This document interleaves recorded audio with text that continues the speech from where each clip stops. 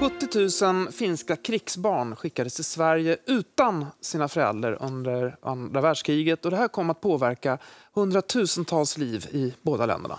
Ja, många av barnen var bara några år gamla eller ännu yngre när de skildes från sina föräldrar. Och nu kommer en helt ny bok som bygger på breven mellan mammorna och fostermammorna vilket förstås ger en helt unik inblick i deras tankar och mm. känslor. De finska krigsbarnen heter boken och vi säger välkommen till forskaren och författaren Ann Nelin och också till Erke Grönros som kom till Sverige som krigsbarn när det bara var några månader gammal. Varmt välkomna båda två. Mm. Ja, ska vi börja i den änden varför du ville få ner det här på pränt och skriva den här boken? Ja, jag hade ett... Eh, jag var delaktig i ett forskningsprojekt som handlade om de finska mm. krigsbarnen och i det projektet så var jag mest intresserad av de politiska omständigheterna. Eh, och under tiden när jag arbetade med det här så fick jag liksom eh, kontakt med det här materialet. Och det, där, det där låg och skavde i flera år. Jag försökte komma in i arkivet men jag kom inte in i det. Och, så där. och sen till slut så fick jag tillstånd. Och då kände jag att här finns det en fantastisk möjlighet att få beskriva hur krig drabbar mm. människor alltså under den tiden det pågår. Mm. Inte liksom efteråt, utan under tiden det pågår. Sen är det naturligtvis inte det här hela berättelsen. Det här är ju bara en liten del av de här mm. familjernas berättelser. Men, Men det är ju en unik inblick i alla fall. Ja, det är det, mm. det, är det ju. Verkligen. När, när, man läser boken då får man nästan känslan av att det blev något av en folkrörelse att, att ta emot eh, barn från ja. Finland i, i, svenska familjer. Hur, hur började allt det här? Det började under hösten 1939. Den finska, den finska utrikesministern uppvaktade den svenska utrikesministern Rickard Sandler och frågade om Finland kunde få militär, eller förvänta sig militär hjälp eh, ifall ryssarna anföll. Mm. Alltså ryssarna ville upprätta militära stödjepunkter längs med hela kusten men det ville inte finnarna, de sa nej. Eh, och eh, Rickard Sandler han han antydde att detta var en möjlighet. Han lovade inget, men han antydde att det var en möjlighet. Men han hade då inte svenska regeringens eh, stöd. Eh, han avgick så småningom eh, och då Hans fru Maja Sandler och han de hade väldigt liksom, nära kontakter med Finland, både privat och men också politiskt.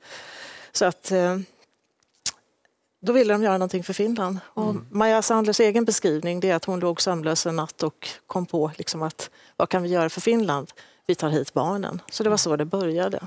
Så det startade ju som en, liksom en, en god gärning. Men ja. Det kanske inte var helt förankrat i samhället vad det faktiskt innebar. Nej, precis. precis. Ja. Ja, vi har en bild på eh, paret, eller på Maja Sander där. Mm. Och om vi vänder oss till dig, Erke. Ja. Mm. Hur, hur var situationen för din mamma när du var nyfödd? Ja, det, det var nog väldigt jobbigt. För att hon hade bara ett år tidigare någonting förlorat ett av barnen. Alltså mellanbrodern till oss. Mm. Och uh, han var bara fyra månader gammal när han dog. Och vad jag har fått veta så var det så att han mer eller mindre svalt ihjäl. Mm. För att uh, det fanns ont om mat i Finland och uh, min mor fick inte tillräcklig näring för att kunna amma. Mm. Och det fanns ju ingen mjölkersättning mm. eller sånt på den tiden. Sen stupade ju min far också. Mm. 14 eh, januari 1942.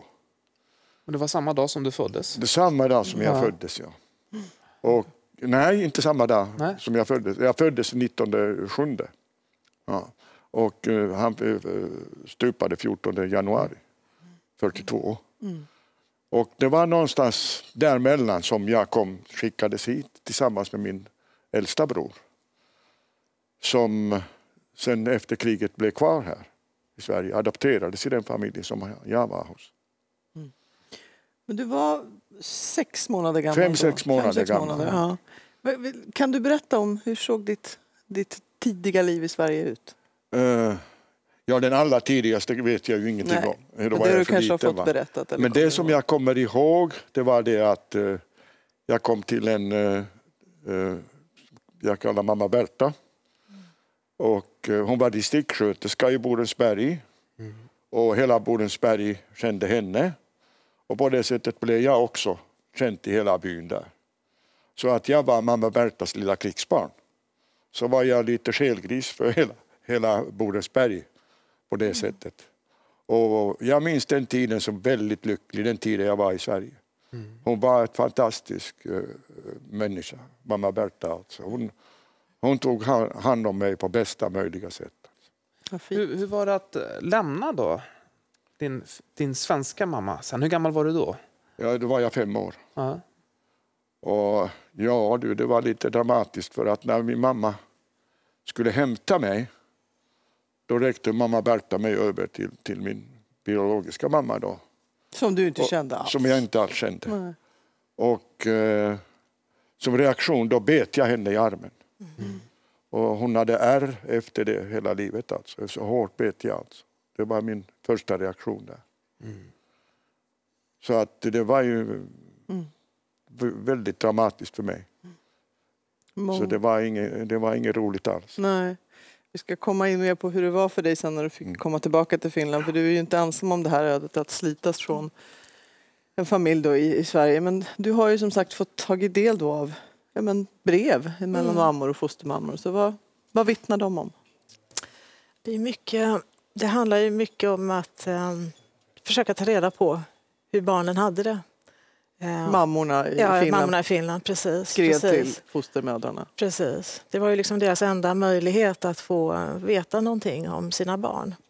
Uh, och ibland uppstod det ju vänskap via breven mellan den biologiska mamman och fostermamman i Sverige. Men ibland så blev det också en slags kamp om barnet kan man säga. Alltså en kamp om vem som var bäst förälder och en kamp, många frågor och undringar om vad som hände barnet. Och de finska mödrarna undrar ju ofta om eh, barnet hade glömt dem, om de kom ihåg finskan eller eh, skulle de någonsin komma tillbaka eller försöker ni stjäla vårt barn. Det kom ju anklagelser ibland också om att de svenska fostermödrarna försökte förvrida huvudet på barnen som inte skulle vilja komma tillbaka. Och så där. så mm. Det fanns liksom det fanns alltid de här breven. Mm. Alltså väldigt varm vänskap ibland mellan mödrarna men också väldigt mycket oro. Och det, jag tror att det som dominerar det är just den här oron för att barnen skulle glömma bort dem. Mm. Ja, och också som en, en del citat i boken är ju mm. från brev som, där man ser en, en desperation också. Det, mm. det, är någon mamma som ifrågasätter sig själv. Mm. Vad är jag för mamma som lämnar ifrån ja. mig mina barn? Men hur, hur illa var läget mm. i Finland? Alltså, vissa delar av Finland var ju utsatt för krigshändelser. Men sen det var bombningar inte minst. Ja, ja precis, precis. Men sen fanns det ju delar i Finland där det inte var särskilt mycket, alltså som inte drabbades mm. speciellt mycket av kriget alls. Men det är klart, det visste man ju inte. Man visste ju liksom inte. Alltså risken fanns ju alltid naturligtvis. Mm. Erki, när du kom tillbaka då till Finland som, som femåring så ja. var det en, en tuff tid för dig. Det var Berätta. väldigt tuff tid, ja. För det första så eh, jag pratade jag inte finska. Nej. Utan eh, min eh, mor satte mig i en finsk skola då. Och det första året eh, det, skolan, det var, det var någon slags förberedande skola. Och där lärde jag mig då finska. Och där har jag inga negativa minnen av. Utan tvärtom, jag trodde att jag hade ganska bra där. Men sen när jag kom till den vanliga folkskolan, då blev det ju något annat. För att nu är jag ju, min pappa var ju finlandssvensk. Mm. Och jag heter Grönros som sagt. Att, eh, och det var ju motsättningar också mellan finsktalande och, och, och svensktalande folk. De svensktalande kallades för svensktalande bättre folk. Och det, sen var det populasen och det var finnar. Mm. För att det var ju finlandssvenskar, det var ju den gamla överklassen i Finland sen svensktiden. Och det blev ju motsättningar mellan det, det också. Va? Så jag drabbades dubbelt. Mm. Dels kom jag, hade jag ju fått vara i Sverige i skydd för kriget. Och det uppfattades så att eh, jag kallades för, där jag bodde, jag bodde i ett ganska stort hyreshus. Och jag kallades för jävla svensk barn där. Mm. Och det var naturligtvis föräldrarna som lärde sina barn det. Mm. För att det var mycket avundsjuka där. Och kombinerat med det här att jag då var finlandssvensk. Samma var det när jag kom till den vanliga folkskolan också. Där var också lärarna avogt inställda till både finlandssvenskar mm. och att jag var en jävla svensk barn. Mm. Så, och, ganska, så ganska... jag blev ju utsatt för väldigt mycket ja. mobbning och misshandel. Och, och mm. Det var ju en sak också på den tiden att aga var ju inte bara tillåtet. I skolan var det till och med påbjudet. Att man skulle använda aga för att vi skulle lära disciplin då, det. naturligtvis. Du, eh, i större delen av dina fem första år i livet de tillbringade du i Sverige. Sen fick du lämna då eh, mamma Berta, din Mm. Ja. svenska mamma. Ja. Hur höll ni kontakten sen när du kom tillbaka? Eh, Mam, men fakt, fakt, faktum är att min mamma eh, och min eh, mamma Berta hade väldigt fin relation brevledes. Eh, jag- Jag har en 60-tal brev eh, från min mor till mamma Berta som fanns bevarade som jag fick av mamma Berta efteråt. Och eh, vi, vi var ju här och besökte mamma Berta efter kriget ett flertal gånger. Dessutom var ju min bror kvar här i, i eh, Ulvåsa, det är ganska nära Borensberg. Så att vi hälsade på honom också. Så att vi höll ju kontakten ganska många år efteråt också Fint. med mamma Berta. Mm. Så att, eh, och vad jag förstår av de breven så hade både mamma Berta, de breven från mamma Berta till min mor finns inga. Men av min mammas brev framkommer det att mamma Berta hade lämnat väldigt mycket uppgifter om sig själv.